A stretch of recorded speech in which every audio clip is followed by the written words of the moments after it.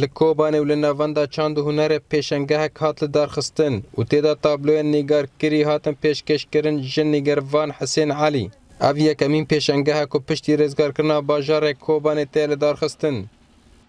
دافعکی کورد و کوردستانی از گرم کردم سر وی شری هوانی سر هر چه پارچه خاکم چه دبی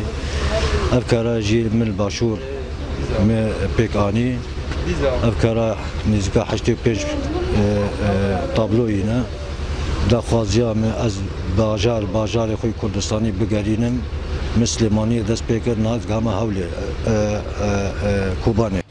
اف پیشنگها بناوه قیرین ولاته و تیدا هاتیه پیشکش کرن حشتی و پنج تابلو و تواهی تابلوان لسر برخوادانی و سرکفتنا شروانن کرد و ایشو آزار گل کردستان لحر چار پارچان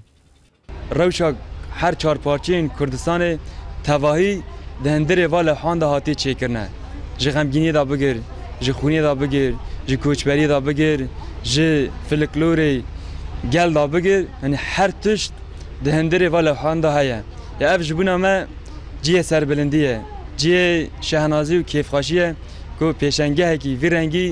ها هاتا پیشکش کرن پیشنگه دروجان بردوام کرد و بشک جوالاتی کوبانه سردانه و پیشنگه کرن و نرخ و نێرینێن سر آنین زمان. ام وقتی ئەونا معرادی ما چه ایشک دی ما او مبی ما بیمەعادی دەوە. مثلا هر که مجمع رو کرو رو مام وقتی وقتی كوجبار بود مادی. یعنی هر كوجباري وك هر تشتك هر زلمك هر او یعنی یعنی مگی برچوي قدي ام گی زانه و سر بی تشتی و سر هر تشتك معنوك خواهد نگروان حسین علی یک شوالاتیان قامش لویا هیجای گوتنه کوید سال و چار حیوان دست به چکرنا وان تابلوان کریا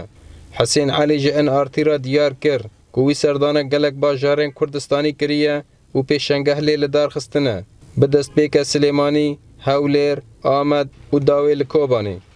بارامس کو ان آرتی کوبانی